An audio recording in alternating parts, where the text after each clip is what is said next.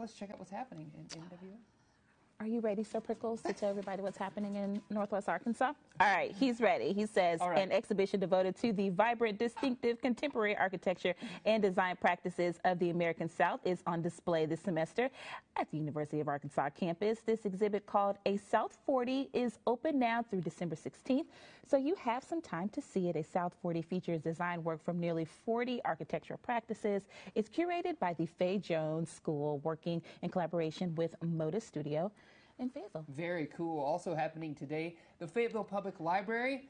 It's time to get some yoga on. Oh, Relax. Oh, yes, yes. And it's on the green, so this is your opportunity to enjoy yoga in the great outdoors. That's right, FPL's team of volunteer yoga instructors has moved the September sessions outside, and today is the last session of the month. Of course, the class is suitable for all levels of yoga practitioners and will last today from 6 to 7 p.m. Okay, I love that. Also happening now, this is probably one of my favorite things to do in the fall, the pumpkin patch at McGraw Farms in Pea Ridge. Now open for pumpkin season. Of course, McGraw Farms is a pick your own pumpkin patch in the fall and a pick your own berries in the spring and summer. They are open every day except Tuesday. The cost of admission, $12, and they're going to be open all the way up until October 31st. I believe there's also a corn maze there. Yes. And I think that's the location that also does a like haunted corn maze, maybe. They do so much fun stuff out there, so definitely check that out.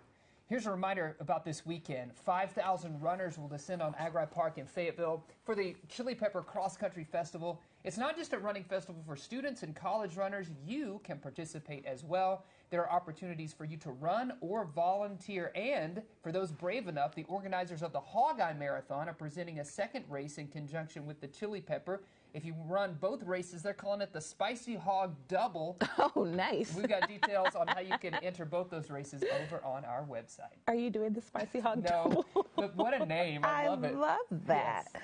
All right, if live music is your jam, the annual Hill- Hillberry Music Festival kicks off this Thursday and continues through Sunday at the Farm Campground in Eureka Springs.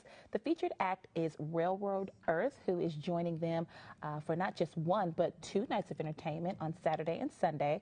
There are multiple pass options available. You can uh, camp out or you can just buy a day pass to check it out. They've got multiple stages, workshops, activities, food, and craft vendors. So lots going on out there. Yeah, for sure. And here's your reminder to get ready for Bikes, Blues, and Barbecue. The motorcycle charity event has previously announced it's moving to Rogers after 20 years in Fayetteville. The festival brings uh, will begin on October 5th and will feature group rides, live performances.